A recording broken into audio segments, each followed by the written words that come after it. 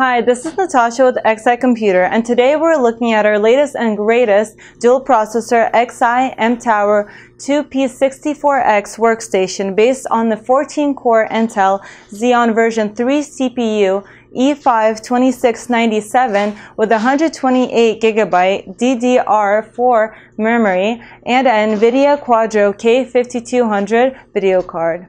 Now let's look at how we build the box. For this build, we use a soundproof Cosmos 2 case. This award-winning race car inspired design case has an optimized airflow design to minimize noise. For the ones that don't like the lights and the front fan, there's a button here that can turn them on and off. And there's also a button that controls the speed of the fan. Also, the fans are controlled internally by the BIOS according to the temperature of the case. The case has some nice input and output ports, two USB 3.0s, two USB 2.0s, a mic input, audio output, and eSATA port. In addition to this build, there are two Blu-ray burners and two 4-in-1 hot swap removable trays. Sliding up the front panel, we can see the front air intake fan with filter. Also, there are filter air intakes on both side panels, which are double layered to isolate inside noise. Now let's open the case and see how it's built inside. We open the case. First thing we're noticing, the motherboard of choice is a Supermicro X10 DAI. It supports two Xeon CPU version 3, in this case E5-2697 with oversized air coolers. It has 3 PCIe 3.0 16X, 2 PCIe 8X, and 1 1X. It supports up to 1 terabyte of DDR4 registered ECC 2133 MHz, here populated to 128 gigabyte. 2 gigabit Ethernet network, 10 SATA, 6 gigabit per second are included, and of course, 10 USB 2.0 and 3.0. A 7.1 high definition sound is also on board as the main use of this build is a workstation. We can see here is the NVIDIA Quadro K5200 new generation professional video card from the NVIDIA Quadro line. It has 8 gigabytes of DDR5 video RAM, 2304 CUDA cores that can be used both for visualization and for computation as a coprocessor for the CPU.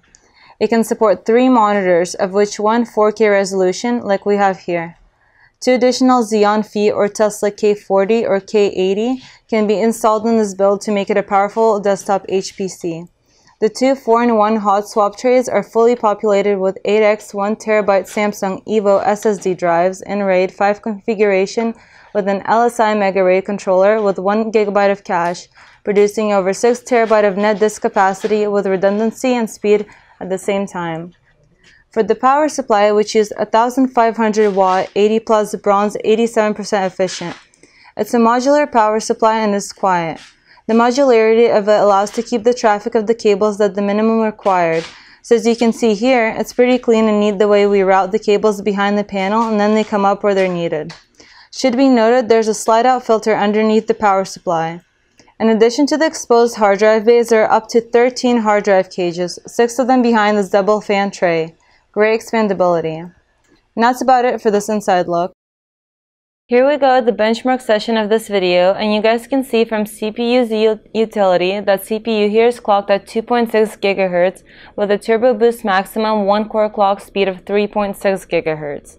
Each CPU has 14 cores and 28 threads for a total here of 28 cores and 56 threads, ideal for simulations and renderings. We're skipping some benchmark that would privilege single core performance, but we would like to show you one that is most relying on multi-core performance where this system really shines. The test we're going to present is a Cinebench from Maxon Corporation that is using a tile rendering algorithm. In running the test, we can see the 56 threads processing at once with high speed, and of course, the record-breaking number here is 3960 on the rendering part. The frame per second mark is also quite respectable thanks to the Quadro K5200. We also ran the same test selecting only four cores just to show the great advantage of so many cores in the rendering application and for any parallel multi-threaded computations. As you can see, you get a score of 503 with 4 cores versus 3960 you get with 26 cores and 56 threads. This concludes the test portion of our presentation. For more information about the configuration, the build, and the performance number of the benchmarks, there are links on YouTube as well as on our website. Visiting our website, you'll be able to configure this and other workstations and servers, as well as take advantage of our ongoing discounts and promotions. Thank you very much for viewing this video. See you at xicomputer.com.